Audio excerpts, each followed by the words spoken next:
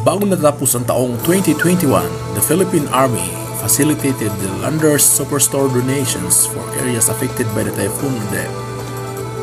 The Philippine Army sent 14 truckloads of relief goods to Central Visayas Thursday, December 30, 2021 through BRP Tarlac of the Philippine Navy.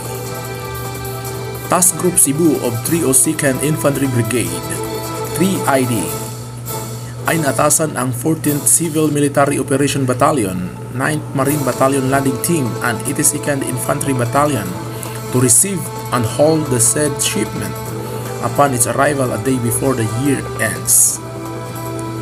The shipment consists of bottled water, food items, canned goods, foams, mattresses, portable water purifier packs, electric generator, and other essential supplies.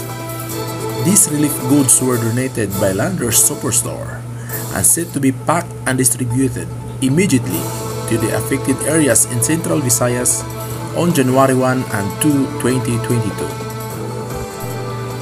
Moreover, the Army was able to consolidate essential supplies from corporate and individual donors with a total of 12 million pesos as of date. All of these consolidated donations will be distributed to areas severely affected by Typhoon Odette, likely in Bohol and Negros Islands.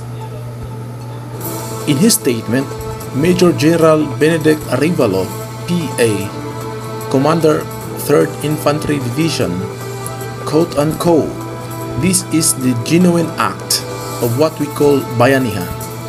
We are truly grateful to all the donations made by Landers Superstore and other companies and private individuals to areas that were devastated by the recent calamity.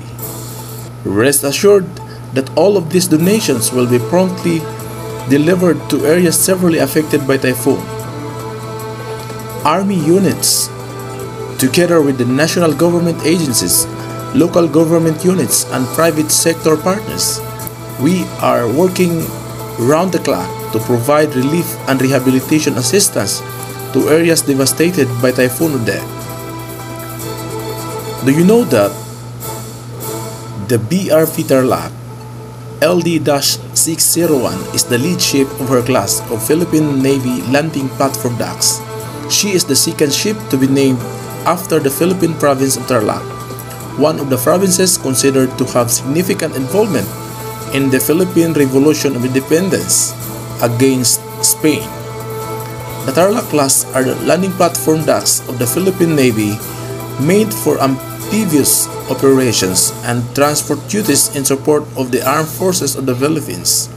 The class was initially called the Strategic Sealift Vessel before being formally named as BRP Tarlac. The ship also doubled as a support platform for humanitarian and disaster relief and search and rescue operations. A big salute to the armed forces of the Philippines. Mabuhay! Thank you for watching. Bye-bye.